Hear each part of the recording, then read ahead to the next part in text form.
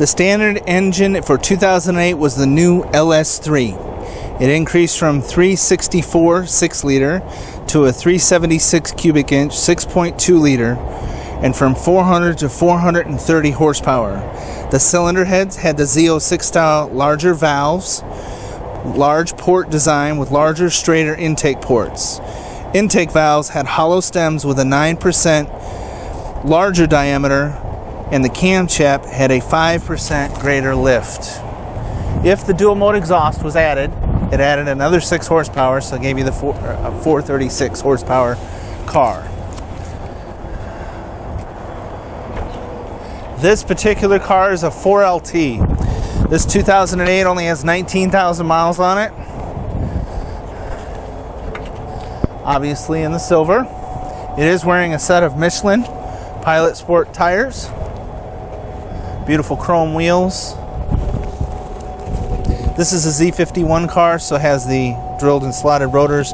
Now the 4LT, uh, one of the options was a linen interior. This is the ebony linen interior in the 4LT, so you have the leather wrap dash and door panels with the linen accents as well.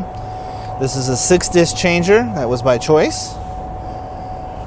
And of course, all the other bells and whistles available in 2008 dual zone climate control heated seats, memory seats, dual power seats. You'll notice on the radio as well there is a jack hookup to be able to po- po- ah, plug your phone in as well.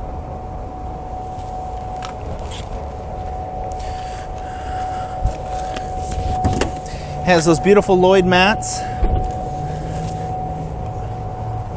with the logo and of course the one in the back to match.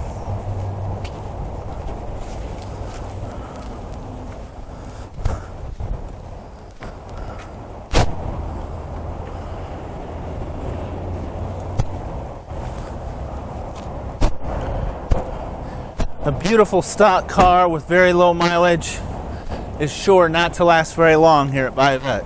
As always, if you'd like to know more about this or any of the Corvettes or classic cars we carry in stock, 770 605 2056 or john at buyavette.net. As always, subscribe to the YouTube channel so you get to see all this fun new stuff first. Take a look at our new channel, the Corvette Studio. We'll look forward to seeing you all out on the road.